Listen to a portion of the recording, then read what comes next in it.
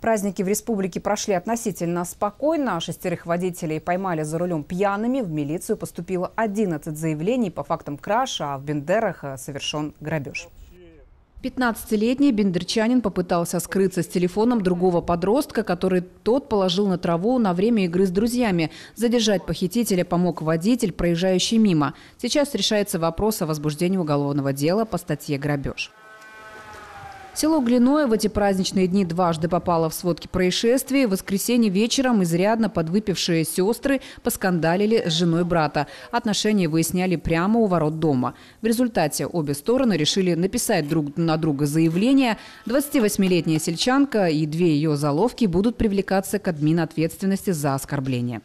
Еще одно происшествие села Глиное чудом не закончилось трагедией. 39-летний мужчина и две женщины в самый разгар застолья поехали в ближайший магазин за добавкой. Но до магазина так и не доехали. Машина врезалась в дерево. Удар был такой силы, что Ауди смяла. Водителя сожительницы увезли на скорой в РКБ. В Тирасполе 1 мая водитель «Фольксвагена» не уступил дорогу велосипеду, который двигался по главной. Велосипедист получил ушибы и ссадины. Две аварии в эти праздничные дни на счету пьяных водителей.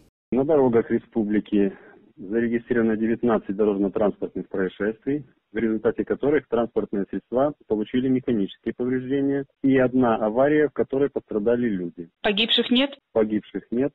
С 1 по 3 мая в республике произошло 13 пожаров. В столице пожарным пришлось будить женщину, которая готовила к празднику еду и уснула. За 4 часа содержимое кастрюли выкипело. Дым вовремя почувствовали соседи, они и вызвали пожарных. Пожарные приехали и к 84-летней столичной бабушке, которая в печи пекла куличи. Печь перекалилась и загорелась крыша. Пожарных тоже вызвали соседи.